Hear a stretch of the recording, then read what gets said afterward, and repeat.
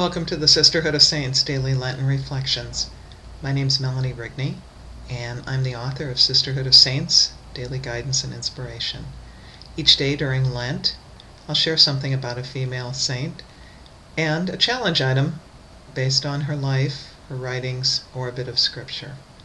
Saint Marie of the Incarnation was born on October 28, 1599, in France, and died on April 30, 1672, in Canada.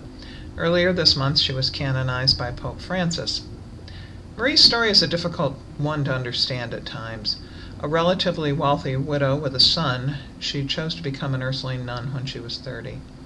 She left her son, who was about 10, in the care of her sister and brother in law. Ten years later, she felt called to serve in Canada, then known as New France.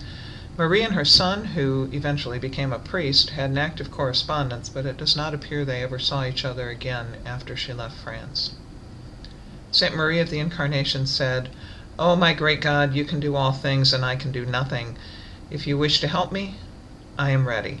I promise to obey you.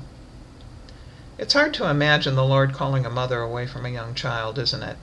Fortunately, He doesn't ask many of us for that sort of sacrifice.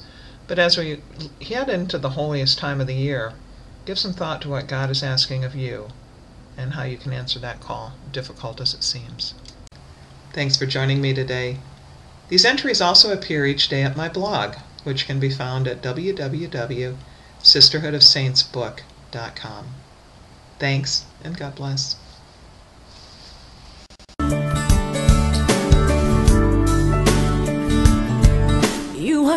to be a mother, to nurture family.